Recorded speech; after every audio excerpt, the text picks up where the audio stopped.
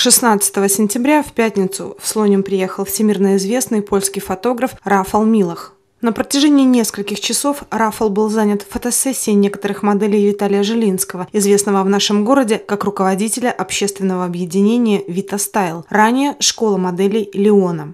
Не-не, я не такая мировая знаменитость, это первая вещь. вещь.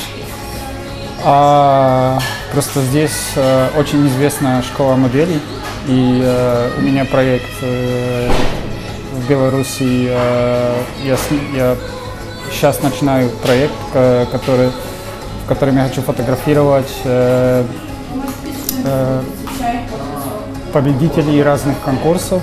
Э, все, все, что связано с красотой, э, все, чем э, люди гордятся. Э, вот и э, Таня меня подсказала, что э, в Слониме э, очень известная школа моделей, и вот я здесь надеюсь пофотографировать э, э, слонимские красивые девушки. Рафал Милах сам предложил Виталию сфотографировать его моделей. О слонимских красавицах фотограф узнал после победы Анастасии Шогиной на международном конкурсе красоты. Сейчас Сегодня первый, пер, первый, э, первый день, э, я просто вчера приехал и сегодня начинаю. Буду фотографировать э, в Минске больше всего, а в Слониме, может быть и в Бресте. Я даже не знаю, где-то... Да, да.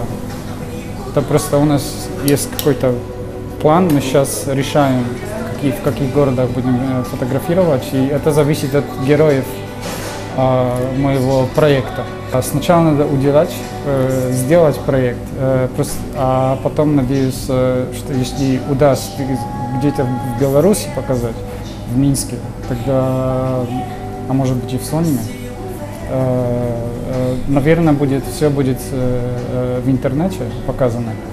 А, если проект Э, разрастется, тогда из этого будет э, выставка и, э, и книжка. Да.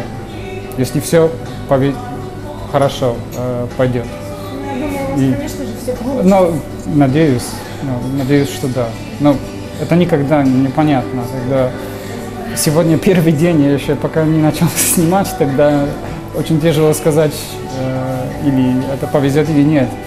Э, но, наверное, это такой проект, это не одна-две недели, это на несколько месяцев надо расписать. И я просто хочу возвращаться еще в Беларусь на, э, э на в, как сказать, в пространстве несколько месяцев, да профессионализме Рафала сомневаться не стоит. Справочная информация гласит, что искусству фотографии молодой человек учился в Чехии, получив степень бакалавра в Институте креативной фотографии. Его фотографии были опубликованы в изданиях Франции, Германии, Италии, Великобритании, Португалии и Японии. Работы Рафала выставлены в Польше, Австрии, Испании, Германии, Японии и Китае. Его фотографии находятся в постоянной коллекции Музея фотографического искусства Киосата в Японии.